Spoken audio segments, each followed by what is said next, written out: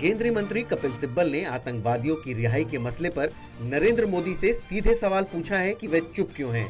और ये भी कहा कि इस सवाल का जवाब नरेंद्र मोदी को देना ही होगा। दुख तो इस बात का है कि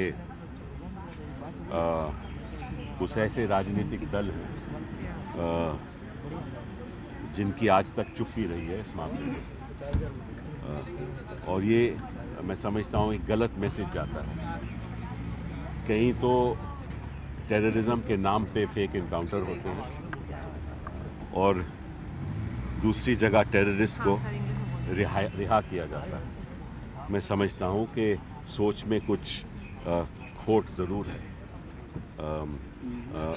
जो राजनीतिक दल और जो सरकार टेरर के खिलाफ है,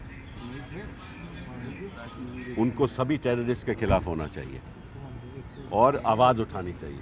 और मैं आज नरेंद्र मोदी जी से पूछता हूँ और उनसे सवाल करता हूँ, आप चुप क्यों हैं?